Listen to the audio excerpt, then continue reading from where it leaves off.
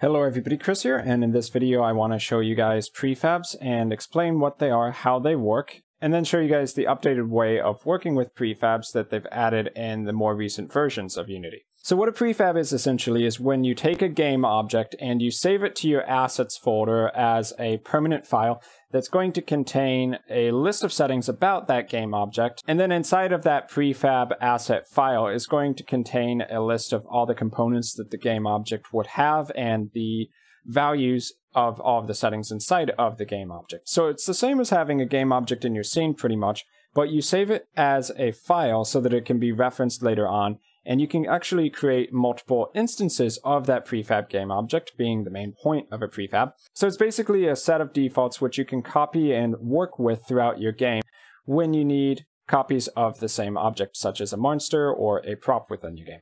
Now, whenever you add a object to your scene that is instantiated or a copy of the prefab object, you can usually change any of the settings as custom overrides. So if you have a monster and as the prefab, it only has 50 HP. You can add it to your scene and then double the HP to 100 as an override. So from one prefab object, you can have several variations of the same object within your game and they're very handy to work with. So you can see in the scene hierarchy over here on the left that there is a series of game objects within this default scene. This is the lightweight render pipeline or the LWRP project template that you have as an option of creating your new project from. And if we take a look at the game objects within the scene, you can see that two of these nested game objects, the workshop set and the props, are indicated as prefabs, and you can see that because the cube for the game object is blue, and that also on the right, in later versions of Unity, you can see an arrow, and what this arrow points to is that there is a prefab editor.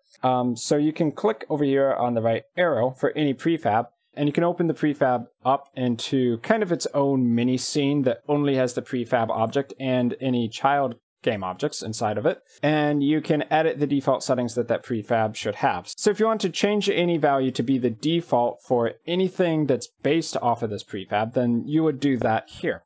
So for instance, if I wanted to take this ground object and double its size, I could change the X and Y scale values, or actually X and Z, and then that effectively quadruples default size. So now if I click the left arrow in the scene hierarchy and we go back out, we can see that this object in the scene that's based on that prefab now has the same values that the prefab itself had. So what's great about this is that if you need to update all the copies of that object within your game, you only need to do that in one place, which is to open the prefab up which you can obviously do really easily in the hierarchy by clicking the right arrow. But also, if you find the prefab within your project, you can double click on it uh, to open it up in that same mini scene for the prefab only. Now, as I kind of mentioned before, there are times when you basically want all of the default settings of the prefab, but you want to change one or two things.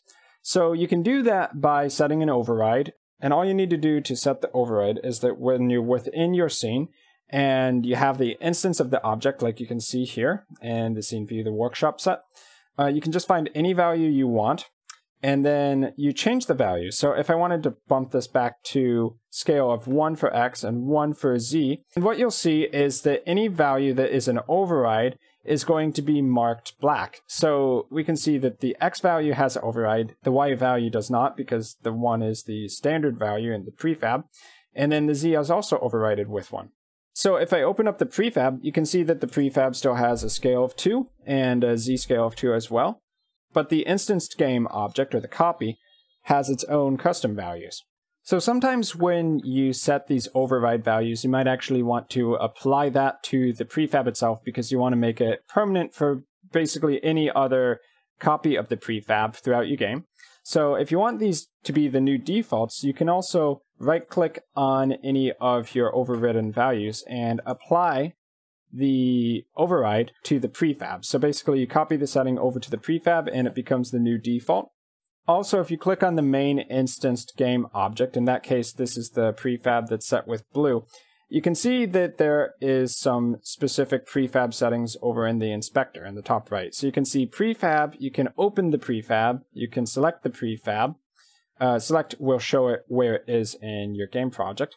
But you can also click on the overrides drop down menu here and you can apply all of the overrides to the main prefab if you desire. So this will take every single value that you've changed and overridden and make that the new default. So in a lot of cases, you only want to apply one of the new values to the prefab, and that's why right-clicking on that specific property and applying it uh, directly may be preferable to this. But if you do want to apply every single one at all, you can see the values that are being changed in this list down here, and you can choose to apply them all. You can also revert all of the changes to the prefab defaults if you just want to reset an object to be identical to the prefab. So let's go ahead and click on the ground one more time and, and apply the scale values to the prefab. So I'm going to right click where it says scale, apply to prefab workshop set. And I'll click up here on the workshop set instance. And then I'm going to select and open the prefab from my project. So if I hit select, you can see that in the inspector, there's an option for opening the prefab here. I can open that up and we can see that the prefab values for the ground have been updated back to the default scale values of 111. So for right now to demonstrate creating a new prefab, I'm going to right click on the example assets and add in a new sphere object. So with this sphere, I'm going to drag it into prefabs so that it is a default object I can instantiate.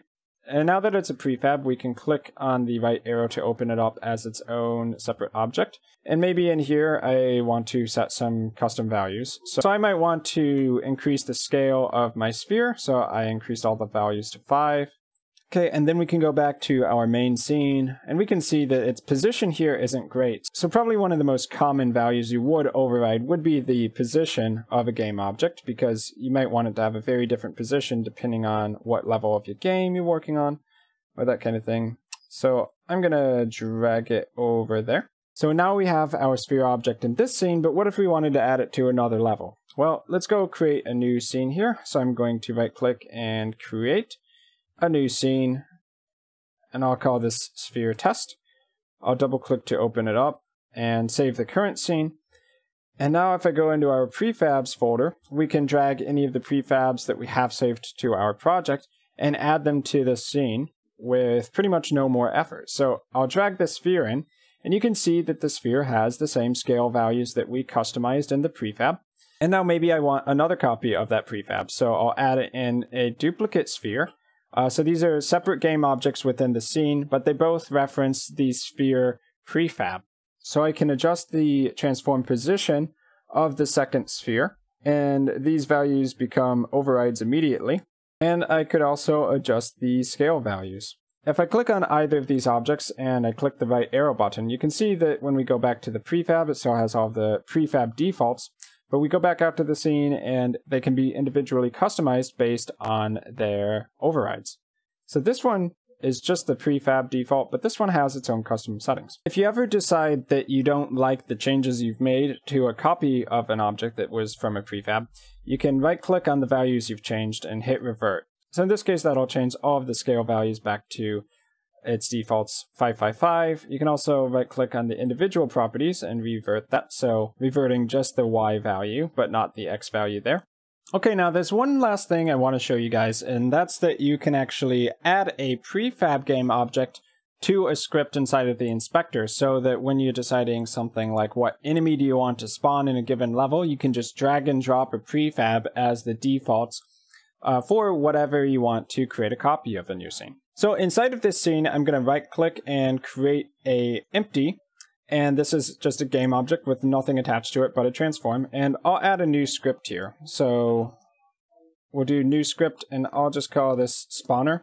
And then I'm going to click on the settings for that script and hit edit to open it up in Visual Studio. So when we open up the spawner script inside of a MonoBehaviour, which is the base class for just about any script you would attach to a game object, uh, there's a method built in by default called void start. So whenever a game object is added to the scene and the script is enabled, it's going to do whatever is in the start method uh, upon that startup, just once. So if we wanted to spawn a game object, we would have to reference that game object within script. And so a game object can also be a prefab.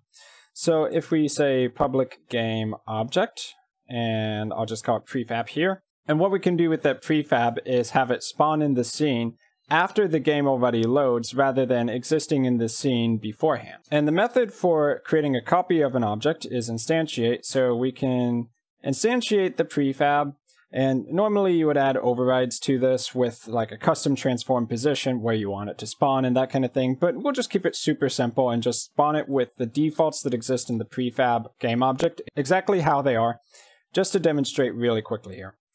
So I'm going to save the script, and when I switch back over to Unity, you can see that the spawner script now has a space to assign a game object. So that could be a game object inside of our scene. I could assign it to the spawner game object itself.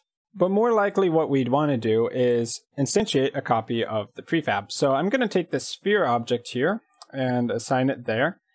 And uh, for right now, let's actually disable these other game objects. So I'm just going to hide the sphere in sphere 1 so that there's no uh, visible sphere in the scene. Actually, let's just delete it so that there's no question that when the game object of the sphere pops into the scene, that it wasn't there beforehand. So if we go to the game view, you can see it does not exist. Uh, the scene hasn't been loaded. But with the spawner script enabled, as soon as the game starts, this sphere should instantiate. So let's hit play here. And there you go. You have a sphere that popped into the game after the game had loaded based on the simple instructions in our C-sharp script. So obviously you could come up with a much more complex spawner script than that, and you probably should.